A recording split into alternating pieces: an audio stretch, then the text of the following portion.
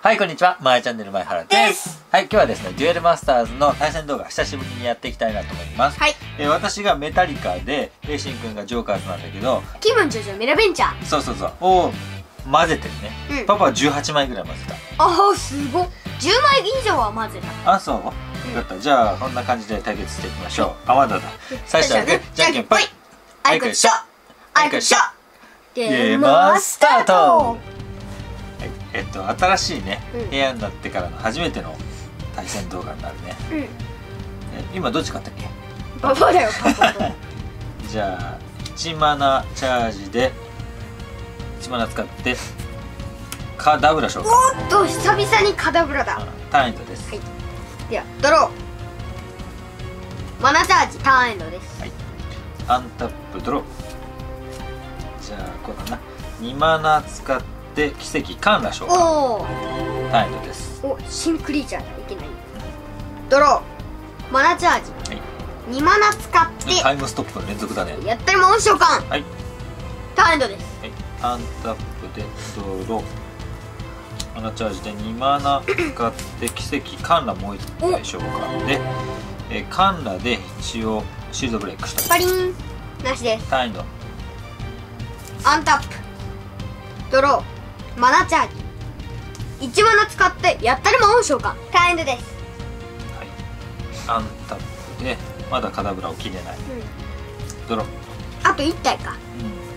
DG おお DG でした。はい、えー、2マナ使って1マナ対クリスタ召喚、で、えー奇石カンラで、えっと1枚ずつブレイクしておこパリン。うここも。パリン。ターンエンド。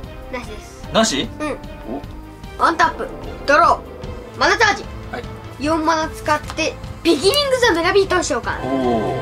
このクリーチャーが召喚によってバトルゾーンに出た時ジョーカーズオーバーエクスプロード能力を持つジョーカーズを1体自分の手札からバトルゾーンに出す。あ。このゾーンの終わりにそれを自分の山札の一番下に置く。下に置いたらカードを1枚引く。あーただ出しできちゃうのね。うん。だけど今手札にジョーカーズオーバーエクスプロードがいないので。なんだそりゃ。なんじゃそりゃ。じゃあちょっと。じゃあスピードアタッカーでしょでもじゃあやったらまでまずナッシングゼロを使います。ゲ123枚お。トリプルブレイク、じゃああ違う。クワトロブレイク。アクアトロブレイクね。クワトロブレイク。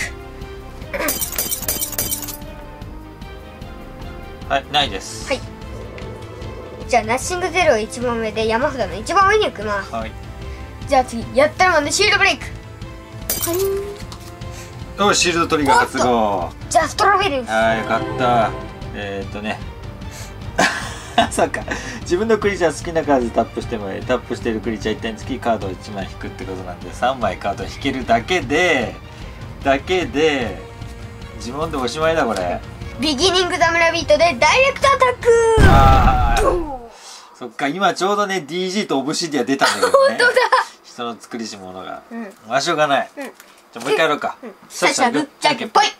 ゲームスタートまたパパが勝った。なマナーチャージターンエンドドロー。マナチャージターンエンドチャージエンド。ドロマナチャージ2マナ使って奇跡カンラ召喚おカンラ。ターンエンドじゃあドロー。マナチャージよしターンエンドアンタップでドロマナチャー。ジで3マナ使って奇跡カンラを本光銀バラードにネオ進化そしてですねこれ絆プラスが使えますこのクリーチャーがアタックするときその下にあるカードを1枚自分の墓地に置いてもいい。そしたらこのクリーチャーと自分の他のクリーチャー1体の絆プラス能力を使うんだね、でまず捨てましょう、うん。捨ててはい。でこの子の絆プラス能力は自分の山札の上から4枚を見ます。お。その中から呪文を1枚選び相手に見せてからお。手札に加えても良いということですね、えージョジョジョジじゃョーカーあノバルティアメイズを手札に加えます。で、えーこれを山札の一番下に置くんだね、うん。はい。でこの子自体は攻撃するよ。シールドブレイク、はい。なし。ターンエンドです。ドロジョリジャジョリでいいじゃんじゃあ。ーマナチャージしたいなよ。ととにかく。ユーマナチャージしちゃいなよ。はい。は い本当にした。そんなにいっぱい持ってるんだからとターンドです。タエンドうん。終わった。あんたクソなんでこんな時に召喚できるクリーチャーがいないんだ。ノバルティアメージ先ほど出たやつをマナチャージしてあよかったでね。2マナ使って一番対クリスタを召お喚クリスタお。はい。スペシャルバージョン。そしてバラードでもう一打はい待っとこう。はいバリーン。タイムストップ。あ。シールドトリガー。スーパーシールドトリガーだ相手のコスト6以下のクリーチャーを1体選び相手はそれ自身の山札の一番下にクリスタを置い一番下へ。よっしゃー。タイムストップは呪文なので破壊されます。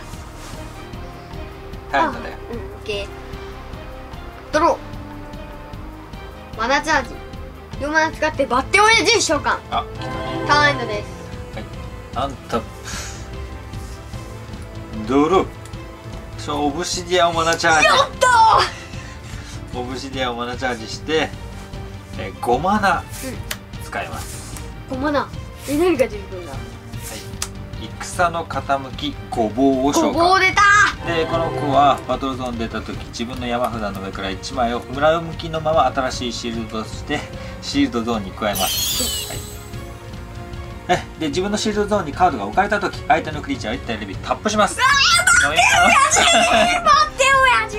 はいということでオンコバンラード相打ちします。やったぜ。あーバッテン親父が破壊されてしまった。大変だ。はい。ちょっとここは見にくいかな。キンキラキンにきらめくぜ。バッテン親父の敵を取る。マナチャージ。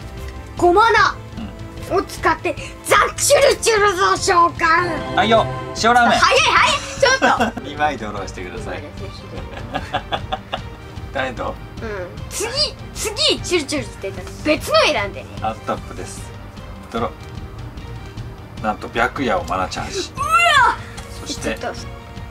キンキラキンにきらめくぜ！DG この作りし物を召喚！来ちゃったこのクリーチャーがバトルゾーン出た時またはタップした時自分と相手のシールドを一つずつ選ぶ。このクリーチャーが選ばれたらそれらのシールドをブレイクするということでシールド私はこれ。それぞれブレイク。パリーうえ。ンなし自分がシールドゾーンから手札に加えるメタリカ。または裁きの紋章すべてにシールドトリガーを与えます。ということでこれがシールドトリガーになったんだね。セコーギンマルハバンがマルファバンが。マルハバンがシュートトリガーだった。ありえない。出てきちゃいました。あじゃあ戦の傾きごぼうで。ー。あーやばいよ。もうバッテンするやつシールドを破壊しておこパリうーンやばい。ターンエンド。いやばいよ。アンタップ。や DG が初めて登場しました。ドロー。いやマナチャージ。ふわー。召喚できないまさか。ちょっとなんで。こコスト高いカード多すぎじゃないの？こでさもう2マナ使ってやったりも召喚します。あそうね。うん。そしてさらに1マナ使ってやったりマンを召喚します、はいはい2マナ使ってバッテン親父を召喚します。はい。はいずいぶん静かになったね。それでうん。チュルチュルツでアタックするときに。ナッシングゼロ。ラッシングゼロ！かかった。はい。ーで1枚2枚3枚。クワトロブレイク！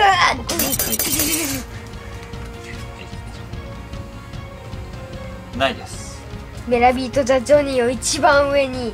山札の一番上ね。はいであのシングはボーン、い。タンドです。ターンドか。ターンドか悪いな。はい。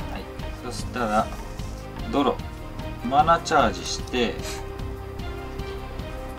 パパあれがいないのがきつかったなクリスタが。5マナ使って戦の傾きごぼうをもう1枚消化。でシールドを追加ね、でごぼうでシールドブレイクないの？で DG でダイレクトアタック。バッテン。バッテンか。バッテンだけどタップしたからこれは自分と相手のシールドを一つずつ選ぶでブレイクしなきゃいけないんだよね。で A ちゃんいないからパパのブレイクか。パリーンだね。今のはこのシールドトリガーとしてこうあれだね。お。召喚できる。まあでもスピードアタッカーじゃないから。マルファバンでダイレクトアタック。自分で爆発してるうやってくるには洗脳洗脳とジョリー・ザ・ジェニーとバレット・ザ・シルバーと弾丸王とブラビート・ザ・ジョニーがいまやっぱしたコストが高すぎんねちゃん。ね、はい。ということで今回ですねデュエルマスターズの対戦動画久しぶりにやってみました、はい。DG なかなか面白いね、うん。お互いにブレイクするってあのアニメでも超怖いやつ、うんうん。うん。あれが今回できてよかった、うん。はいということで今日の動画が面白かったなとか気に入ったなと思った方はぜひいいねボタン高評価グッドライクお願いします。そしてぜひお友達にも教えてあげてください、それじゃチャンネル登録もよろしくね。よろしくね。ということで今回は以上でございます。バイバイ。バイバイ